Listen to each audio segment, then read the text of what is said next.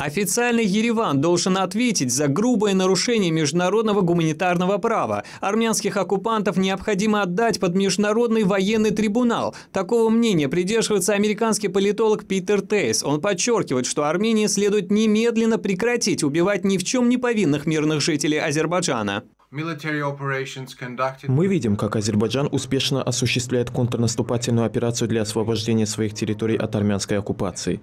Захватнические войска Армении постепенно покидают Нагорный Карабах и прилегающие к нему районы. Оккупация не может длиться 30 лет. Настало время положить этому конец. Терпя поражение на поле боя, Ереван обстреливает густонаселенные пункты, погибают мирные жители. Ведется артиллерийский и ракетный обстрел по инфраструктурным объектам Азербайджана.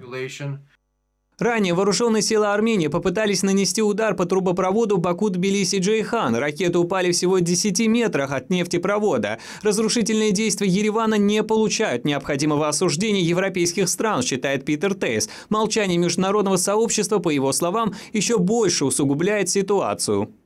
The, uh, Премьер-министр Армении постоянно демонстрирует неуважение к международному праву. К такому выводу можно прийти, просматривая его интервью различным телеканалам.